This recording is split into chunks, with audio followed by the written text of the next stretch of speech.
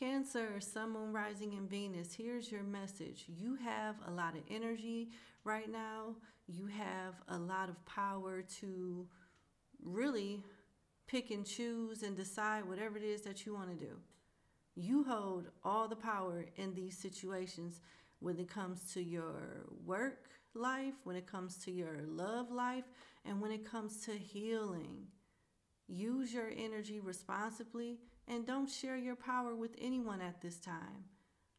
You should still be vetting people, whether they're love options or job opportunities or business ventures, so that you ensure that it's the best fit for you. People need to respect your boundaries right now. Setting healthy boundaries would definitely um, benefit you. Some of you guys are real close to saving the money that you need to save to travel or to move somewhere, whether it's in your state or country or outside of your state or country.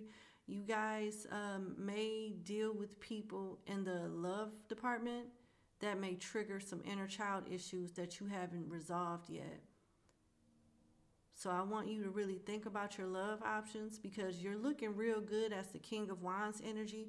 Whether you're a masculine or a feminine, you don't have to settle. You look aesthetically pleasing. Some of you guys could be on a different diet or workout regimen. It's paying off. Continue to keep up the good work and you will have options. You don't have to settle for anybody and their bullshit. Period. You hold all the cards. You should not be trying to compromise or bend over backwards. It should be an equal exchange.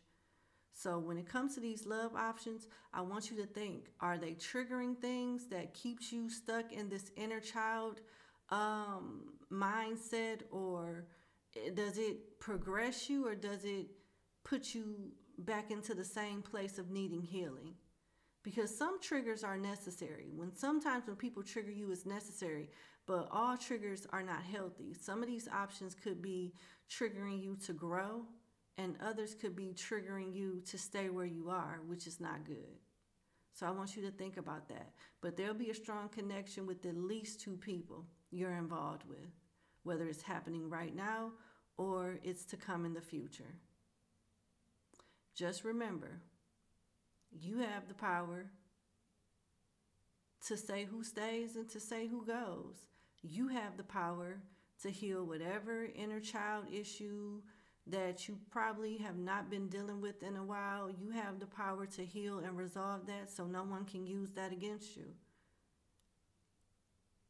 People need to respect your space. Don't force people to understand you. Let them go about their way. Other than that, keep living your best life. This is your message. I love you. Bye bye.